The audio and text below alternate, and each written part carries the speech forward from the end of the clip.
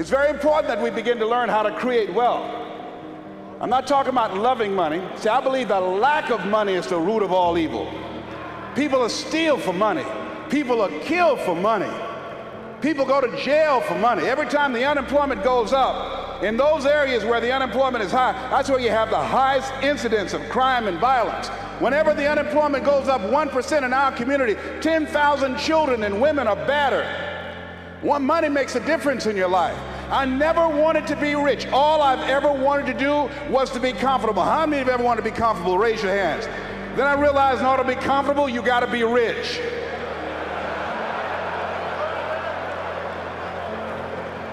An old friend of mine, Zig Ziglar, said, people say money won't make you happy, but everybody want to find out for themselves. Rita Davenport said money ain't important, but it's right up there with oxygen. And let me tell you something, fellas, even if you're as homeless as I am, if you got some money, women will find something cute on you.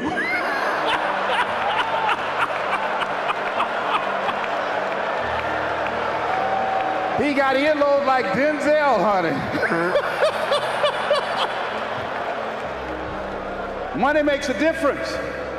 I used to be so broke when creditors would call the house, my children would answer the phone and say, My daddy say he ain't home. I was so broke at one time in my life, I walked by a bank and tripped the alarm.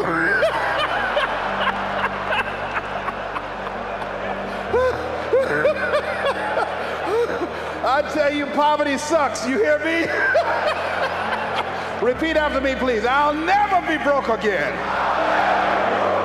Yes, write that down. I affirm that I'll never be broke again. Never. Never will I ever be broke again. Let me tell you what money does. Number one, it gives you control over your life. Write that down. Number two, it gives you options. Three, it allows you to live a life of contribution, to contribute to things that you feel strongly about, like this ministry and the work of Project 2000 will be doing to change the lives of young people Bishop Jakes' vision is if we can have Little League football teams and baseball teams and basketball teams, then we can have Little League dermatologists and cardiologists and endocrinologists. So he's now establishing an institution, Project 2000, to give our young people the methods and the techniques to reinvent themselves as we go into the next millennium. And this era that Peter Drucker calls the era of the three C's accelerated change, overwhelming complexity, and tremendous competition. So here's the first step to accumulating wealth if you expect to do it. Write this down. You must be willing to do the things today others won't do in order to have the things tomorrow others won't have. That's why the book of life said the road to life is straight and narrow, and few there be that find it, because few there be that are willing to do the things today others won't do in order to have the things tomorrow others won't have. What are the things that others won't do? Number one, make discipline a major force in your life. How many of you know if you'd have been more disciplined, you'd be further along to reach your goals right now? Socrates said the undisciplined life is an insane life. The road to life is straight and narrow because few there be that are willing to discipline themselves. Here's something else that most people won't do Make it okay to fail.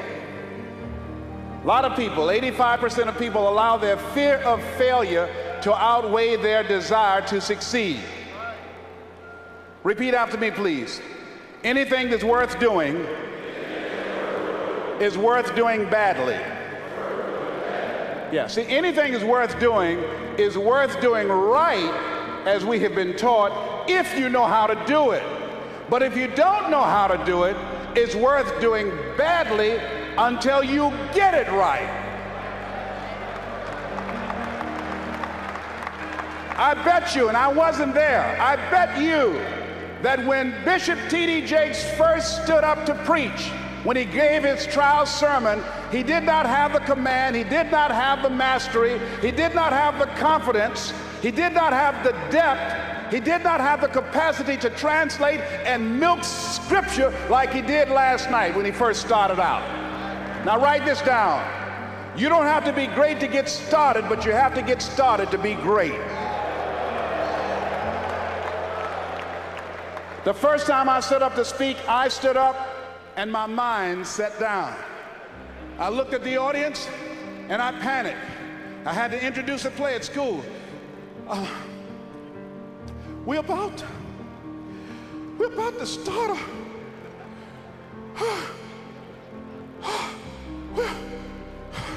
ran off Mr. Washington. Mr. Brown, where are you going? Uh, Mr. Washington, I, I can't think, sir. Uh, I, I, I, don't know. Did you rehearse? Yes, sir, I did. Well, what's wrong? Why did you say your lines? I, I, I, don't, I don't know, sir.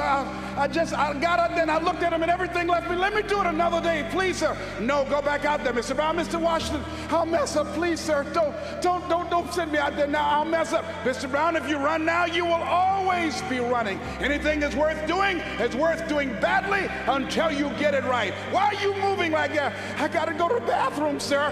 Mr. Brown, go back out there. Yes, sir.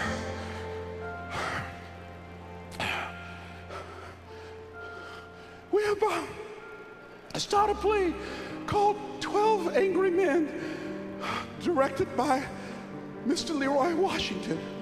And I ran off. The next day, hey, Alfalfa! Hey, Les Brown, how are you? They dogged me out. They talked about me so bad. The next time another event came up, Mr. Washington, Mr. Brown, you're up. I said, no, Mr. Washington. Everybody says, no, not him. I said, they're right, Mr. Washington, not me. He said, Mr. Brown, you are up. Yes, sir. And I went out, and pretty soon, when people laughed at me, it didn't bother me. They would throw paper, and I could catch it without losing my concentration. And then one day, I came out and a hush went across the audience because it must have been something about me that indicated that I had come to myself. And Mr. Washington had been practicing with me to give a presentation. And I looked at the audience and I said, I choose not to be a common man. It's my right to be uncommon if I can. I seek opportunity, not security. I do not wish to be a kept citizen, humbled and dull by having the state look after me. I want to take the calculated risk, to dream and to build, to fail and to succeed. I refuse to live from hand to mouth. I prefer the challenges of life to the guaranteed existence, the thrill of fulfillment to the stale calm of utopia. I will never cower before any master, nor bend to any threat. It's my heritage to stand erect, proud and unafraid, to face the world boldly and say, This I have done. Girl stood up say, that's my boyfriend, honey. I like me some Les Brown, baby. but I didn't start off like that. You have something special. You have talents and abilities in you that you don't even know. So how do we begin to create wealth? Let me give you some, some ideas. Number one, write this down, knowledge. What knowledge that you have in this economy, part of what we need, that people are willing to pay you for that. Next is talent. What talent? Dion's talent is playing football. I didn't have that as a talent. My talent is talking. To me, my definition of success is doing what you love to do and find somebody to pay you to do it. so I find people to pay me to talk. I talk. I brought a game to this, to this country called Bid Whist that I invented. And that's how I talk. I shoot pool. I signify. I make you tear up your cards, break your cue stick, because I talk a lot of trash. I throw you off. You've never been to Boston, I'll take you there. So I learned how to signify and talk trash, all right? So I make a living talking trash to AT&T. I make more in one hour than 90% of the American public earn working for a whole year doing what I love to do. That I've developed my talent. You want to master your talent. Find out what it is that you love to do. I love to talk. Scripture is another key that says to us of what we need to do to begin to develop ourselves. Luke 12, 34, where your treasure is, there will your heart be also. So what do you love to do? And then explore ways in which you can earn a living doing that cooking, writing, painting, working with numbers, working with people. The other thing is, not only must you have knowledge, talent, some skill, but the other thing that's important faith to act on whatever your dream is. See, if you don't believe in yourself, how many people you know that have a lot of talent, a lot of abilities, but they don't believe in themselves? Raise your hands. See, that faith is very important. So, the faith to act on those dreams, those desires. Here's scripture that I, that I like very much Proverbs 16, 16 chapter, third verse. Commit thy works unto the Lord, and thy thoughts shall be established. Commit means to carry into action deliberately. Commit means to make it happen no matter what. Commitment, the difference between next time you have bacon and eggs. The chicken was involved, the pig was committed. He had to give it all up. That's going to take a minute to sink in tonight, all right? See, when you make a commitment, I'm going to become wealthy, when you make it important, when you decide I'm going to do it no matter what, life changes for you. See, most people don't keep their commitments to their commitments. That's why they lead lives of poverty, lives of misery, lives of unhappiness. Socrates said the uncommitted life isn't worth living. So part of what you must do, whatever commitment, whatever covenant you make with God while you're here, to go back to be a better father, to go back to make a difference in the community, to go back to change your life, to decide not to ever to use drugs or alcohol again, to decide to be, that you're going to begin to recreate yourself, that you're going to be reborn to a new state of consciousness. Whatever commitment that you make, keep your commitment to your commitment. No matter what. If it's hard, then do it hard. But keep your commitment to your commitment. And then it says, thy works. See, now most people look at that, commit thy works. Most people look at activity that one engages in to achieve a predetermined objective. But works, commit thy works, it pluralized. There's an S there. Learn this from Bishop. You got to watch these things in Scripture. Just can't go on the surface. There's an S. Didn't say commit thy work whatever task, whatever talent, whatever skill, whatever knowledge you have, and begin to make money doing that, making a difference, impacting people's lives. But commit thy work. So there's two kinds of work.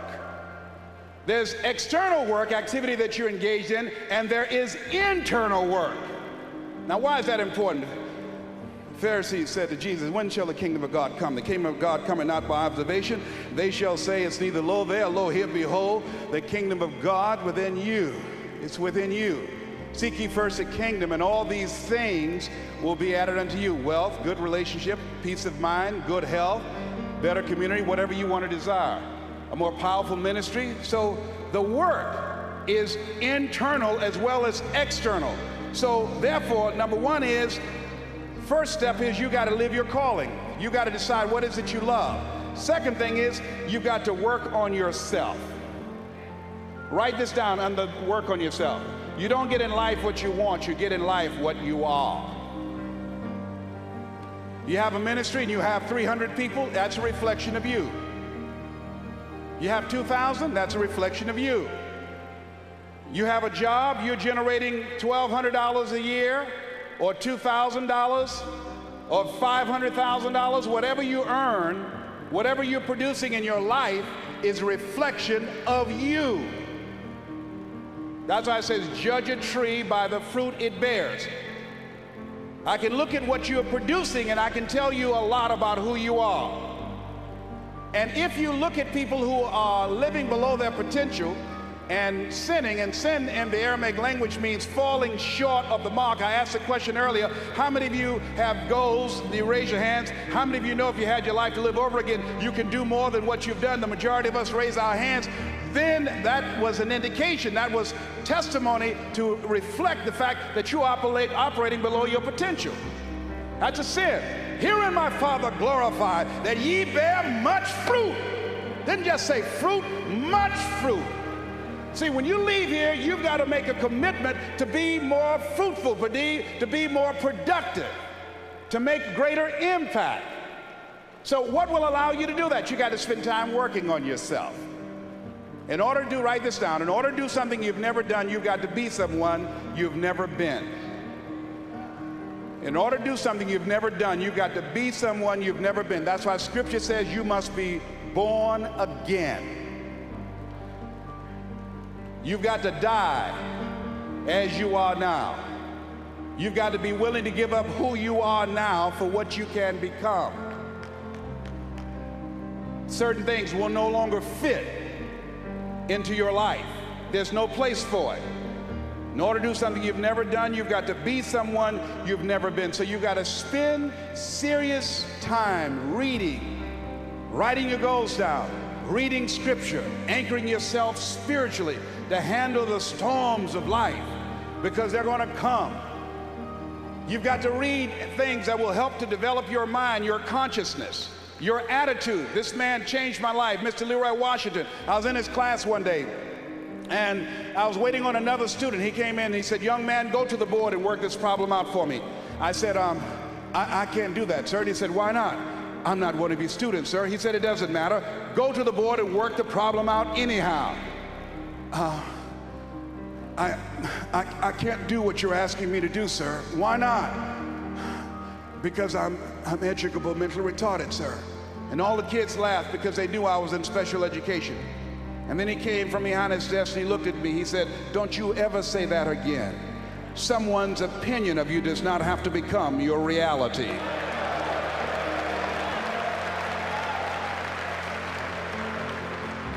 Most of us live within the context of somebody else's opinion of us. I saw a movie a few weeks ago called The Truman Show with Jim Carrey. Not a very popular movie. But there was one line in there that made it worth the movie for me. This young man was born under the camera. that Somebody set up a, a gigantic studio and created the life of a real person to act out in the context of a soap opera. Everybody knew but him. All of it was created, was fabricated. And then when he discovered it, he was trying to escape. And, and the guy said, he won't get out. And the guy said, why?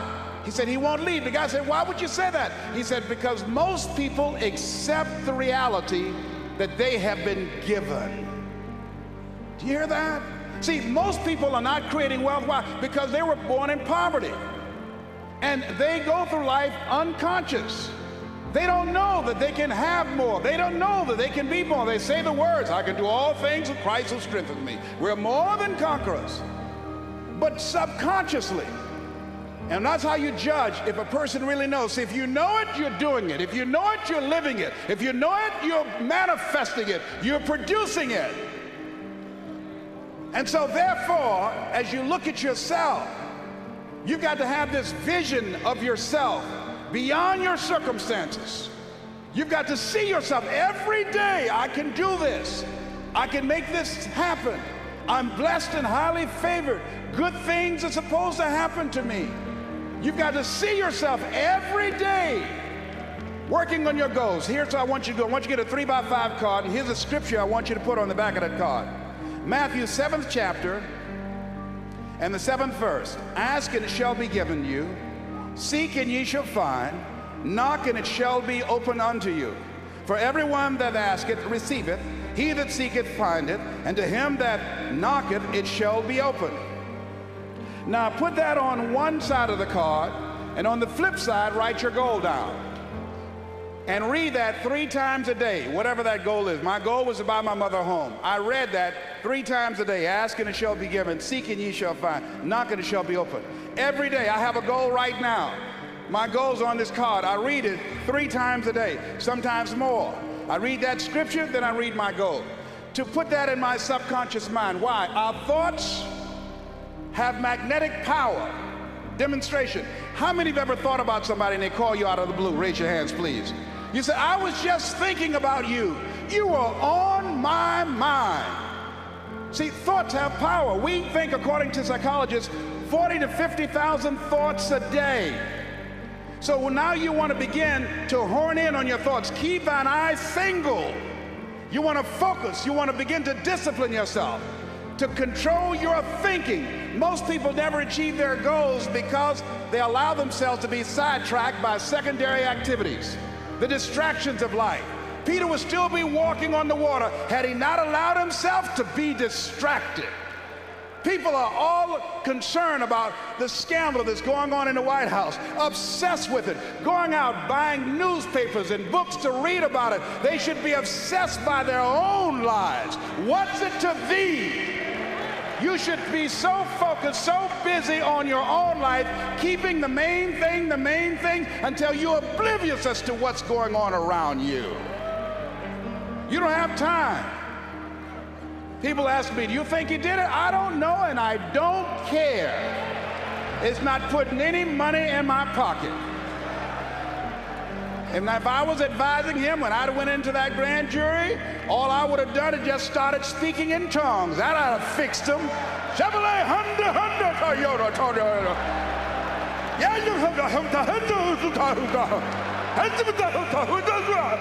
What would Ken Starr say then? Cross-examine that.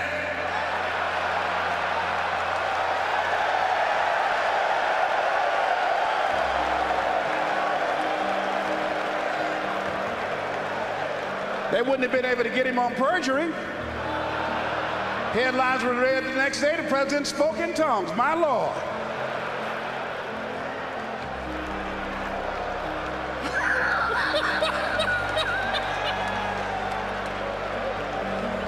I got to pray for y'all. Y'all something else of it.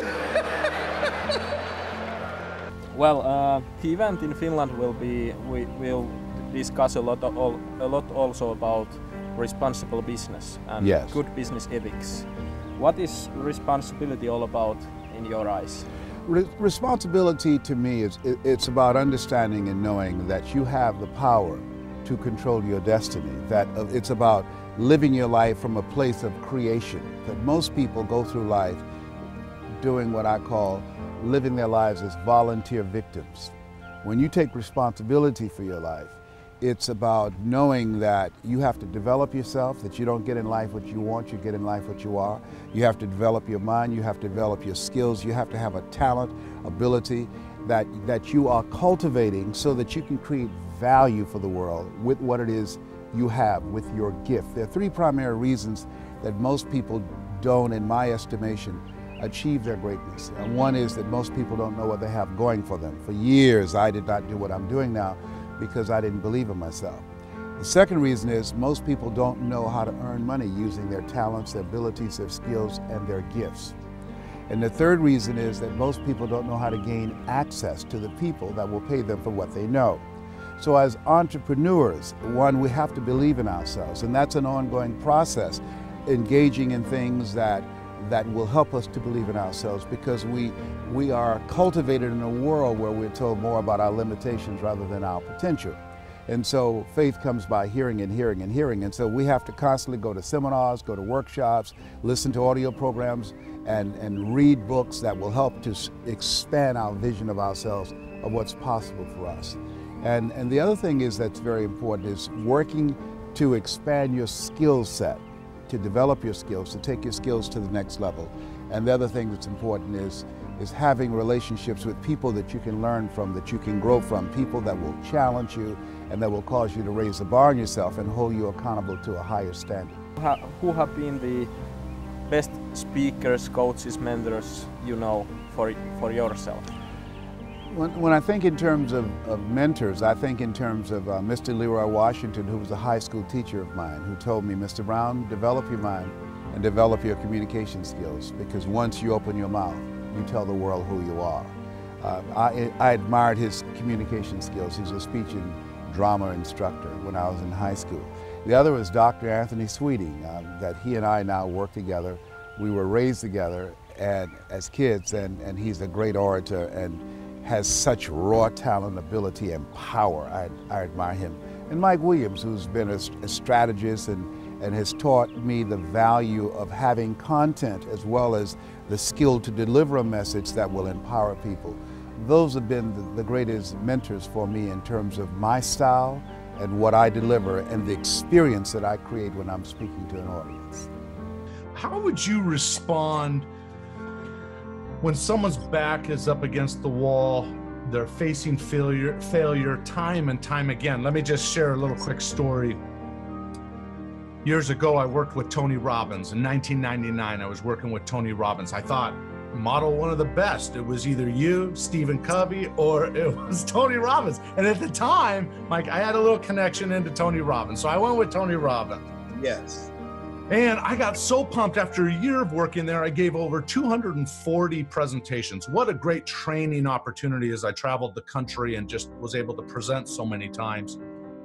And finally, he said on stage, talking about living your dreams, he said, When would now be a good time? He told the 5,000 people audience. And I remember I nudged my wife and I said, That's my that's my calling, man. I, I, I'm making an excuse for myself. It's time for me to go live my dream. Anyway, long story short, I left the Tony Robbins organization. I called my parents. I said, Mom, Dad, can we and the kids stay at your home for just a couple months as I do my first seminar? Our other home, our home was actually rented out at the time because we were traveling so much, so I couldn't go there. And mom and dad said, absolutely. Well, those two months turned into five years in the basement of their house. and I thought, oh my gosh. And in my darkest moment, I took my wife says, You should go get a job. I said, But my I hear Les Brown in me, right? My calling is to do this. There's got to be a way. I can't just give up on the 10 yard line or whatever. And she said, Well, what are you going to do? And I said, Honey, I'm going to go write a book. And she said, You're gonna do what? You're gonna do you have you even read a book? Anyway, I said, I'm gonna go write a book. And we had a car repossessed, so we ended up with one card. And I decided I can't write where the kids are, so I drove down to the grocery store parking lot and I started to type. And two months later, If You Think You Can was pub was written. And I'm telling you, it was published about three months later. And from then, my world in 2005 turned overnight. That book became an international bestseller back in 2005 and we just came out with the with the 15th version. It's coming out next week. And so it's it's just unbelievable as I have always told audiences believe in yourself, believe in your dreams, figure out the right strategy, but never, never give up. I don't know how how do you counsel people to respond to those kinds of challenges without giving up? Well, first of all, we always have a choice. There's something in us, TJ, as you know, that's greater than anything that we face, even though we have no evidence to point to to prove it. Like as I'm speaking to you now, right. I had to prepare myself mentally because I'm in pain as I speak to you. A Cancer has eaten 40% of my T1 vertebrae and metastasized to the T2 to T3 and to the C7. Uh, and I, I, just spoke to an audience this morning and I said, a doctor looked at me and, and, and he said three words that no one ever wants to hear. He, he said, You have cancer. And the audience got quiet. And I said, Sir, can you give me a second opinion? He said, Yes and you're ugly too. That's good. I said, no, he didn't. I said, I got issues. I got issues. here's, here's the thing life is a fight for territory. And once you stop fighting for what you want, what you don't want will automatically take over. So I could have said, and I, even now I could say, this pain is just too great. But my affirmation to myself whenever I'm going through a tough time, and I'm a 27 year cancer conqueror, no matter how bad it is or how bad it gets, I'm going to make it.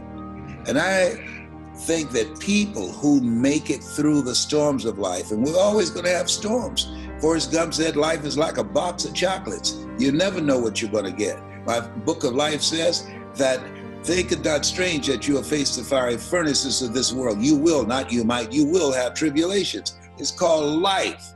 And so, what's key is to visualize and see yourself on the other side and, and hold that vision. He said, I'll give you all your eyes can see. Hold that vision and say to yourself, wow, that came out great. I made it through. I learned some things.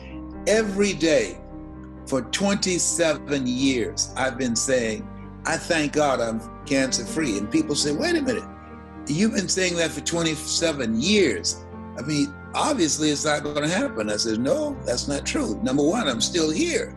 Og say, persist until you succeed. Well, just think, 27 years. Look, when will a baby walk? It will walk when it walks. When will it talk? It will talk when it talks, and some talk sooner than others.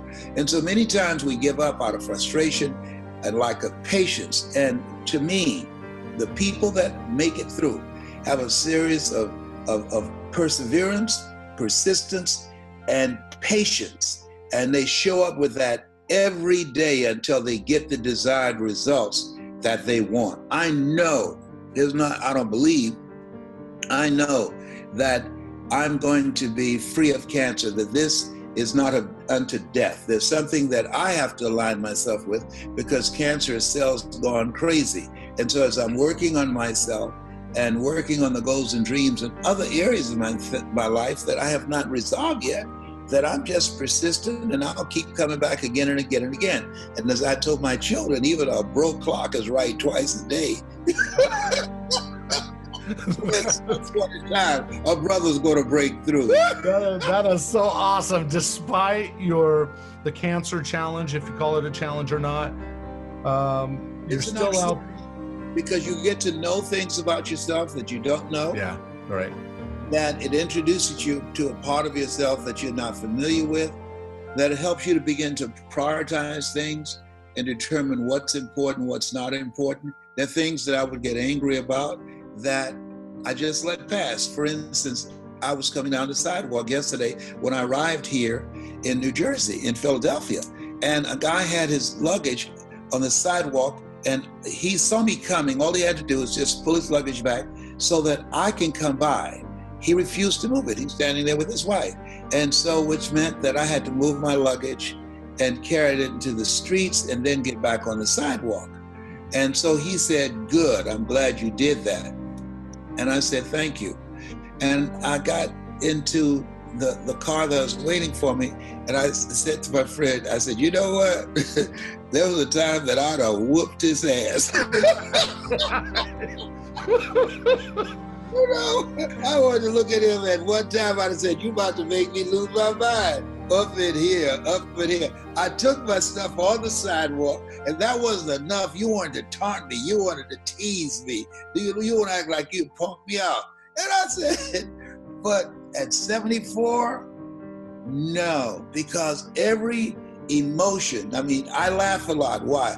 One minute of laughter boosts your immune system for over 24 hours. Think about that. One minute of laughter boosts your immune system for over 24 hours. So people who are watching us now, after we get through, they will get sick for 20 years. now, one minute of laugh of, of anger weakens your immune system for four to five hours. Yeah. So I deliberately don't get angry. I choose not. Anger is a wind that blows out the lamp of the mind. I study psychoneuroimmunology. I know that the, the thoughts that we have, they create gene expressions. I know it creates a certain type of chemistry in our body that's toxic. And so I can't afford, as, as, a cancer conqueror, to get angry. I choose not to go there. And, and we always have a choice. And I believe that uh, the type of program that you have, it gives people the mental and emotional and, and, and psychological and spiritual muscle to have a clarity of mind to stand back and say, you know what? I'm not going to go there. I, I, I'm not going to let this get to me.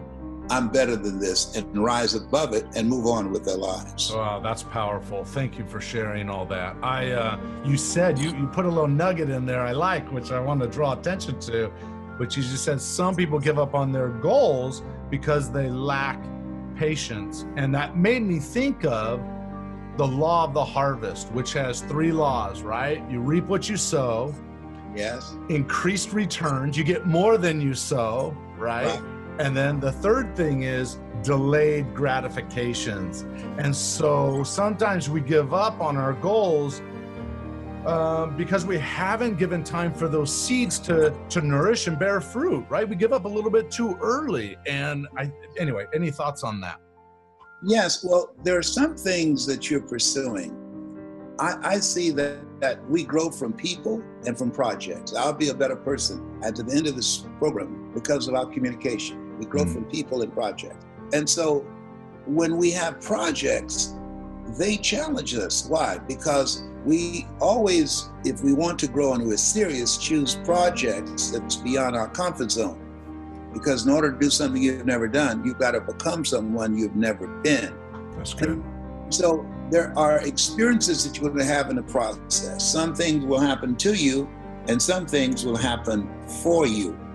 And so I believe that those things that happen for us that sometimes we're aware of, but most of the time we're not. That's what psychologists call your scotomas, your blind spots. Right. That uh, uh, a, a, a, lady, she's an intuitive, and she she wrote me a note when she found out that I was a 27 year cancer conqueror, and she says, "This is not unto death to you." She said, "Search your heart and find out what's there," because. And she was one of the people that gave me a book years ago that I read called who's the matter with me? Mm-hmm. And what I realized, TJ, and this is the first time I ever talked about this publicly, that uh, somewhere in me that I had not consciously recognized that I had anger at my birth mother and father. How can you bring someone in this world who didn't choose to be here and walk away? And even though we are told, forgetting those things which are behind, reaching forth unto those things which are before. I woke up in the middle of the night, and sometimes you can get a message from a movie. Right. And a movie with Tom Cruise. It's called Magnolia. And I never saw the whole movie, but the, there was a quote that woke me up around 3.15, I never forget. And the quote was, we might be through with our past, but our past is not through with us. And so I have unresolved stuff in me because for a period of time, I saw myself as being have been given away. But there's been a shift in my consciousness. Now I look at my life and I realize I was chosen with love, that God took me out of my biological mother's womb and placed me in the heart of my adopted mother. And that's why I know now that I've come to grips with, now that someone, I had to get some help. And I believe, ask for help, not because you're weak, but because you want to remain strong yes. and ask for help and don't stop until you get it. And I said, You said this is not unto death for me. Search my heart. And I said, Can you help me go there? And she did, because sometimes somebody can take you to a place within yourself that you can't go by yourself. And in that session, I realized the anger and, and the hatred that I had for two people that I, I, I don't even have faces for. I've never seen my birth mother or birth father. And, and so I had to resolve that. I had to forgive myself first and then forgive them. And that's when the healing takes place because cancer, a cell's gone crazy.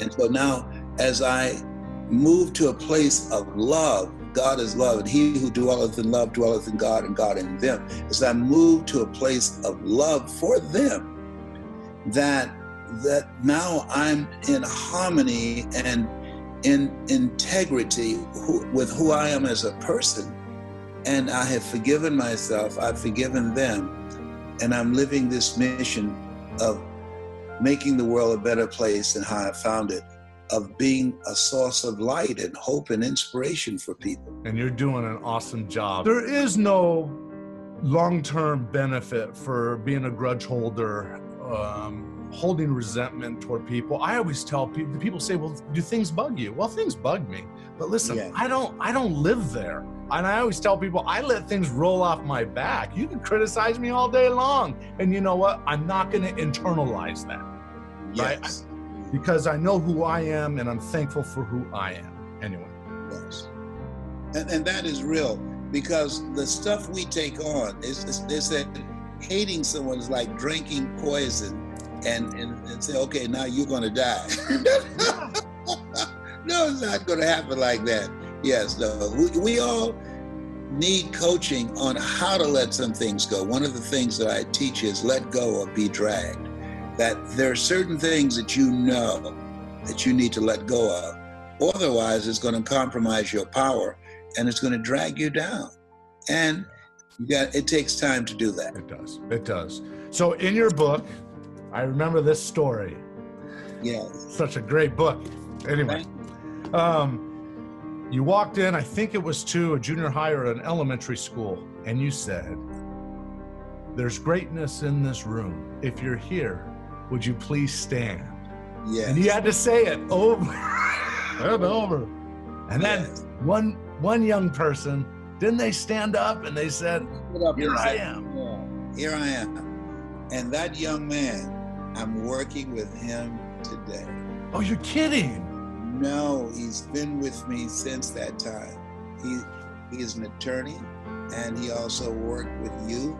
We go to prisons and juvenile detention centers together. Yes, and he's truly manifesting his greatness. And I'm proud to say I'm one of his mentees Yeah. because it's a seesaw relationship. At first, I started out being his mentor, but he has incre- incredible skills with the millennials and with technology that I don't have. Oh, And so he's teaching me how to connect with them and how to use technology to further the work that I have that I'm doing and to create non-performance income. So this thing called life, I believe that you you're never too old to learn and you're never too young to teach. And he's teaching me and I, I'm proud of it. that's awesome. Take full responsibility for your life. Accept where you are and the responsibility that you're going to take yourself where you want to go. Someone said we have two primary choices in life. We can either accept conditions as they exist, or we can take the responsibility to change them. See, a lot of people want to exempt themselves from taking responsibility. All they want to do is talk about the problem. Every time you see them, they'll tell you their story over and over and over and over again. No, no. You want to take responsibility for your life. I got me here, I can get me out of this. And I'm getting out. I'm not going to be a volunteer victim. George Bernard Shaw said there are two kinds of people in life. You know, he said those that make things happen, those that watch things happen, and those that don't know what happened. And he said the people that get along in this life look around for the circumstances that they want, and if they can't find them, they make them, they create them. So, part of beginning to get unstuck, you've got to decide that the behavior pattern that you have adopted doesn't work for you. You've got to change your strategies, and changing your strategy means reinventing your life, recreating you, and you have the power to do that. You can decide that you're going to change, that you're not going to be a wimp. You can decide that you're going to stand up to life.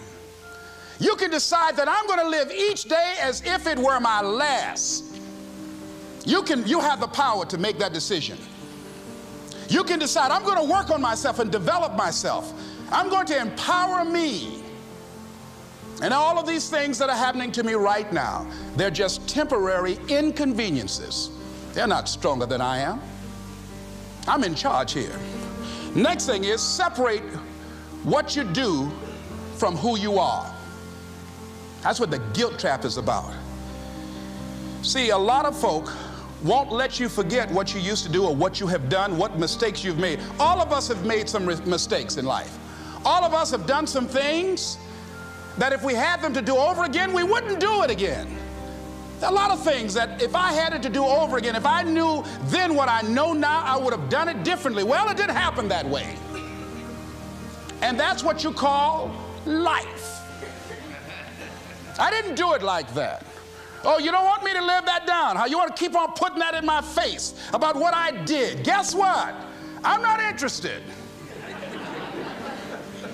That's what I did then. Won't do it today, so you are picking on an innocent man. Hello.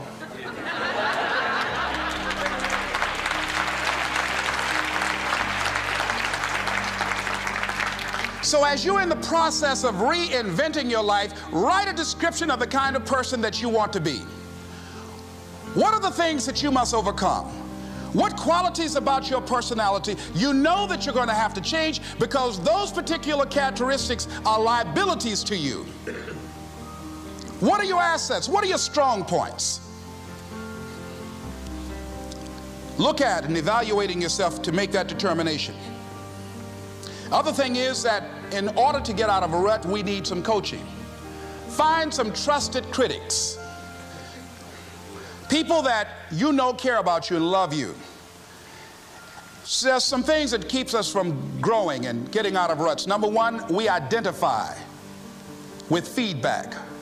We take it personal when someone wants to give us some feedback on where we are falling short and tell us about our blind spots. We want to have everything being positive about us. We're not perfect. It's, it hurts. I, I have a friend who's a trusted critic. I don't like him, but I love him. He doesn't tell me the things I want to hear. He tells me what I need to hear so I can grow. It hurts. It hurts when he put me on the hot seat. I can't stand it. But that's the only way that I can grow. And I'm glad that he loves me enough to risk our friendship to tell me what I need to hear, not what I want to hear. Get a support group, somebody that you can talk to, people who perhaps might have a similar problem. Support groups are very powerful, that you can share some of the challenges that you're going through, and it might be a situation where one person can give you an idea of how they handle that situation and create an opening for you Begin to stimulate some possibilities in your mind on how you can resolve the problem. We can't grow by ourselves. As I mentioned before, we grow from people and projects. The other thing is about life when things happen to you, when you permit things to use you, you can't change the past, but you can interpret. You can reinterpret how you see it. For years, I was going around with a heavy load on my shoulders feeling bad because I was adopted, doing interviews for adoption agencies and foster homes. And I was on television once and I, I told these people in this particular interview that I was given away, my twin brother and I, when we were six weeks of age. A friend of mine, fortunately, was listening to the program. And she said, Les, like to have lunch with you. And so I went over to see her. She said, when a woman carries a baby for nine months, feeling that life movement in her, it's automatic and natural for her to learn to love that baby, to expect it to come here when she bears the pain to bring it into the world. Your mother, Mamie Brown, when she came in to adopt you guys, she didn't go through that process. She looked at whoever your biological mother was and said, I'll take her. You weren't given away Les, you were chosen with love.